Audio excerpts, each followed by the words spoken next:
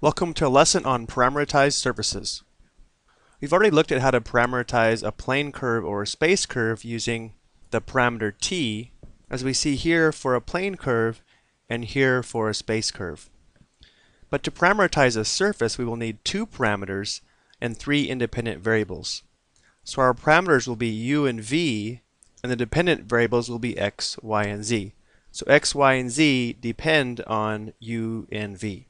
And our two parameters u and v define a region r in the uv plane where the vector r of uv will sweep out the surface. So let's take a look at some examples of how to parameterize a surface.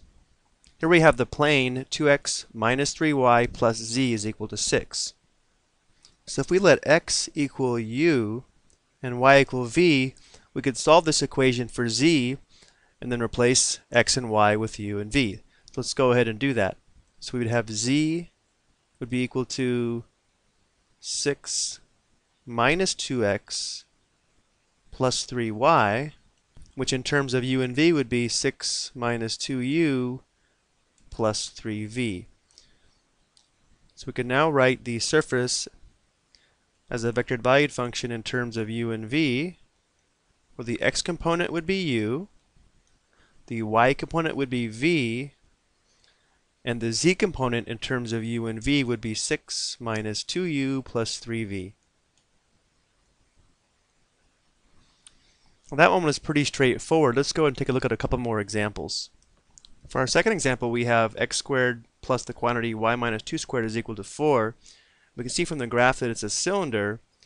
So to parameterize this surface, we're going to take advantage of a trig identity Remember that cosine squared theta plus sine squared theta is equal to 1. So what we're going to do is set this equation equal to 1. So we'll divide everything by 4. That'll give us x squared over 4 plus the quantity y minus 2 squared over 4 is equal to 1. So now if we let x equal 2 cosine u, again we want to use u and v, and then y minus 2 equal 2 sine u,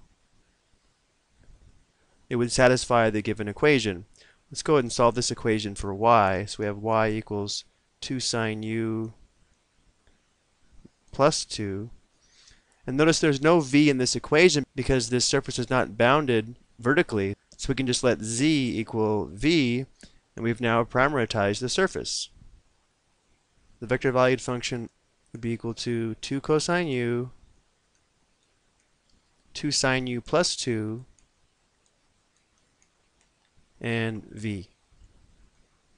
Let's take a look at one more type. Here we have a sphere, x squared plus y squared plus z squared is equal to 9. So we'll use spherical coordinates to parameterize this surface. Since our radius is equal to 3, we know that rho is equal to 3.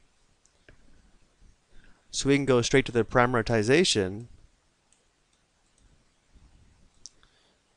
We'll just let u equal phi and v equal theta. So we'll have 3 sine u cosine v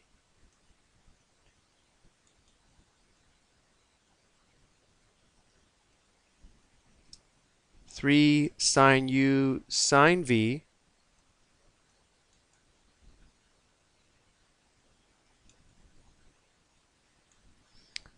and the z component would be 3 cosine u.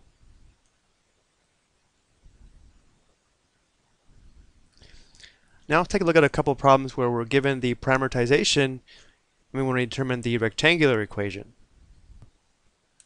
So here we know that x would be equal to u, y would be equal to v, and z would have to be equal to the square root of u squared plus v squared.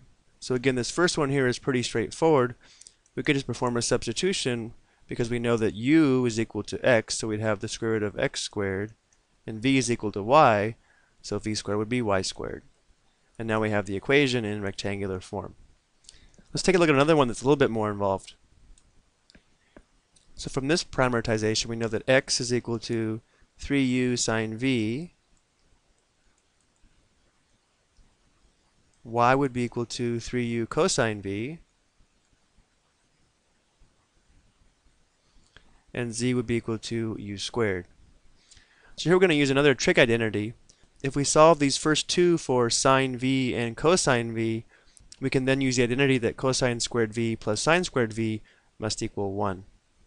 Solving this equation for sine v, we'd have x over 3u equals sine v.